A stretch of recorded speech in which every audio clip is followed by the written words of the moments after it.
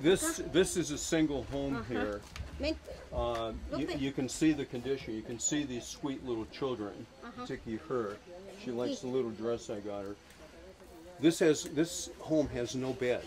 Uh, I just asked her where do people sleep. She needs to borrow uh, a, a comforter for somebody next door, and they sleep intermittently during the day.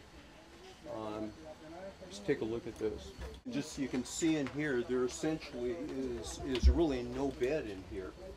Uh, the children have to uh, sleep on some of these bags or lay on the door. There is no running water. There's no bathrooms. There's no cooking facilities. There really are not the essentials for life whatsoever.